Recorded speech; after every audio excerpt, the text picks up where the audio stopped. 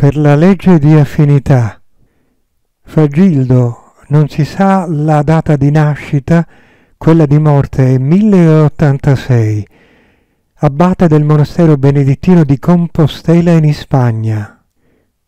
Nell'epitafio della sua tomba si legge Santo lasciò il mondo per vivere con i santi. Perché? Commento.